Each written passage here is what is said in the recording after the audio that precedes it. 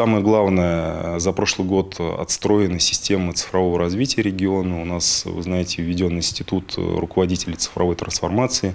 Игнат Евгеньевич Петухов является курирующим вице-губернатором. В каждом органе власти введена должность заместителя по цифровой трансформации в муниципалитетах. Она собрана и сверстанные показатели, которые должны продвигать да, цифровое развитие в регионе. Соответственно, вот эта вся история, она собрана, позволяет контролировать реализацию стратегии, а, планов цифровой трансформации.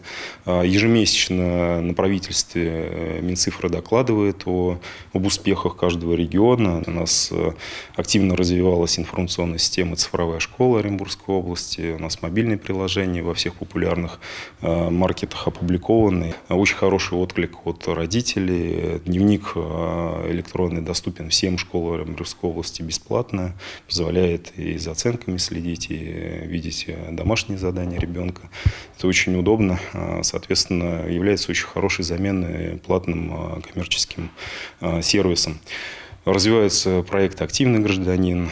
Сегодня я рассказывал про государственную информационную систему обеспечения градостроительной деятельности. Она позволяет э, гигиену э, цифровых э, карт и слоев на них осуществлять. Долгая, большая работа всего Э, всего региона. Соответственно, вот эволюционно мы видим, что это позволит э, существенно сокращать э, время на проектирование, на выдачу разрешения на строительство по всему градостроительные, земельные дела ускорят.